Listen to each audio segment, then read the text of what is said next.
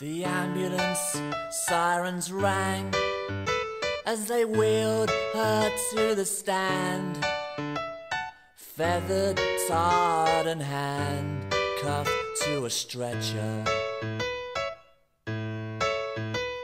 The doctor's diagnosis was multiple sclerosis, an open and shut, hopeless case. The wheels of justice turned till the tires were bald and burned.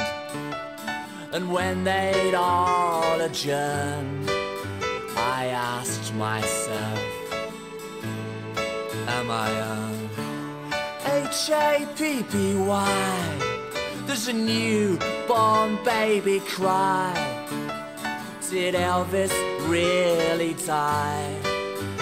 And I said to myself, Self, is wrestling fixed?